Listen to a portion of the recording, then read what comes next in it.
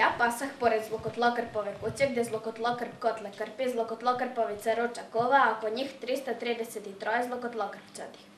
Ja pasah pored Zlokotlokrpove kuće gde Zlokotlokrp kotle krpi, Zlokotlokrpovica ruča kuva, a oko njih 333 Zlokotlokrpčadi. Pored brojnih sportskih aktivnosti koji su i ove godine na programu u okviru Božićne škole sportova, mališani koji nemaju tremu kada je javni nastup u pitanju imaju priliku i ove godine da u okviru škole glume nauče osnove glume, ali i da kroz govorne vežbe ovladaju pravilnim govorom. Škola glume organizacije Udruženja dramskih umetnika Tantijema ove godine okupila je rekordan broj polaznika – čak njih 90.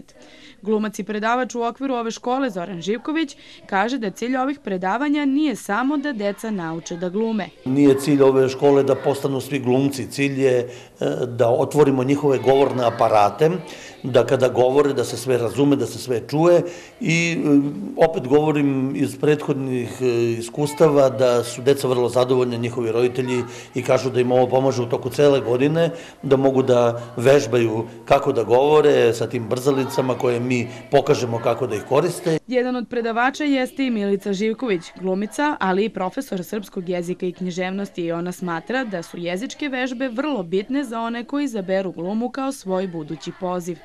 Pokušavamo da ih naučimo da neguju svoj dijalekat, znači ne, ne učimo ih da zaborave pjerotski dijalekat, nego ih učimo da je on sastavni e, deo jezika, ali da je jako važno da govore književnim jezikom, da govore razgovetno, da imaju dobru dikciju.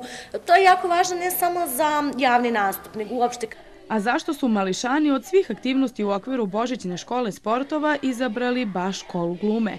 Zato što tamo glumimo i učimo brzalice.